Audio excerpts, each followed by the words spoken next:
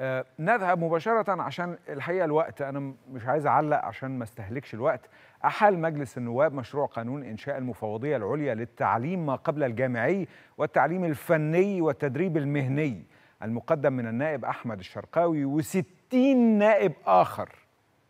ستين نائب آخر إلى لجنة مشتركة من لجنتي التعليم والبحث العلمي والخطة والموازنة. يهدف مشروع القانون إلى إنشاء هيئة مستقلة تسمى المفوضية العليا للتعليم ما قبل الجامعي والتعليم الفني والتدريب المهني.